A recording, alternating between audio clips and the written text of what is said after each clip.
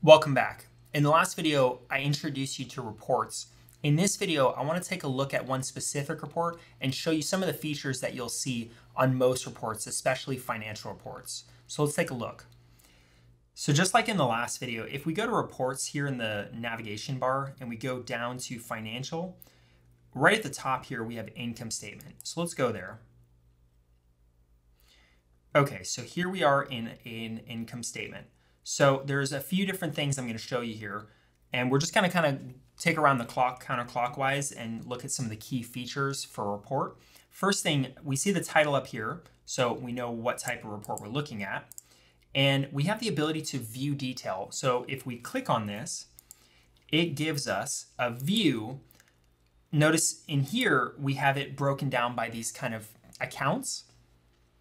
But when we go to the view detail, suddenly every single account is broken down by every transaction that makes up that figure. So if we go to the bottom here of sales, we'll see a number, 6 million. And if we go back here, that 6 million, we'll see it again here. So, you know, it's corresponding. Obviously, it's just a, a, kind of broken down version of every single entry we see here. We also have the ability to click on anything here and it will do the same thing, except instead of pulling up the details for everything, it will just pull up the details for that entry. So if I click sales, it'll pull up just those transactions for sales and still kind of show how they aggregate to that same figure that we see here, the 6 million. So that's that's how these are kind of dynamic reports. You can interact with them in that regard. And uh, you also have these little buttons here where you can minimize or expand uh, what's shown underneath them. And I'll show you a little bit more on that in a second. But the next key thing to get into is down here at the bottom. We have the date and we have a time period. So obviously if it's a year, it's showing, you know, from what period of a year to what period. So that's key to, um, for most financial reports, you're going to want to know what date are you looking at, what time period or what exact date. For example, if you're looking at a balance sheet.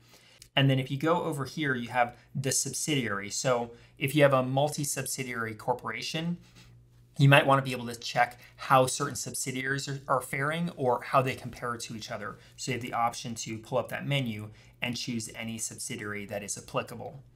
Next, we have column. Now, this one is very helpful to use, uh, especially a common use for it is to choose you, are basically given a number of different options. So you can slice and dice this report by certain metrics. So do you want to do it by class? Do you want to break it down by department? Maybe if you're looking at expenses, you want to see how those break down by department. But a common one is to look at month. So especially if we're looking at an income statement that's looking at a year, we can now have it go into various columns by month. So let's take a look at how that will break down if anytime you change anything in this blue bar at the bottom, you're going to want to hit refresh, which will then actually show you the results of that change. So let's hit refresh. And now suddenly, instead of just having one column showing the totals, we now have it broken down by month in every column. So again, that, that's a very common one for a lot of financial statements, and you can break down column a number of different ways. So that's a very helpful tool. And then over here, you have a little quick search. Uh, you can locate any words or numbers anywhere on the report that are visible. So that can be helpful. And I'm going to walk you through some of these buttons down here. Um, first off, this one here uh, gives you the ability, notice I pointed out earlier that you can kind of expand or contract some of the, the categories on the left there. Um, but what you do here is if you click on it, it's going to crunch them all down and you have the ability now over here to expand them. So it'll expand them by one this time. So you expand it out, it takes one hierarchy, one level, and it'll bring it down. You do it again, it'll pop it down another. Do it again, it'll pop it down one more. And this time, if you contract it, it will contract just by one.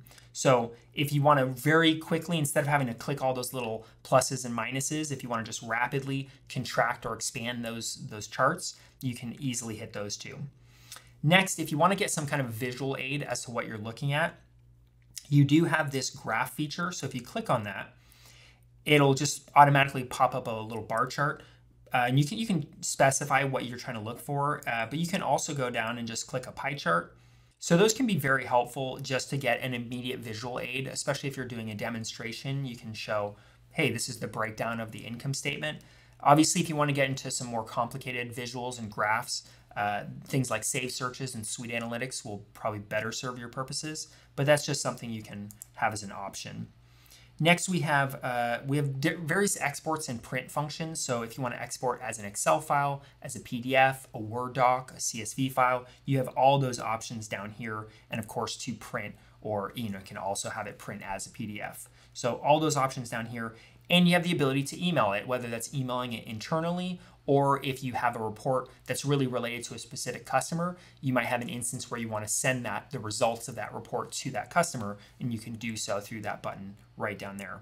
And last, we have the schedule button. So as I mentioned earlier, you can have a recurring schedule that just sends the results of this report to whomever is applicable in your instance. And that's it for basic reporting features. I'll see you in the next video.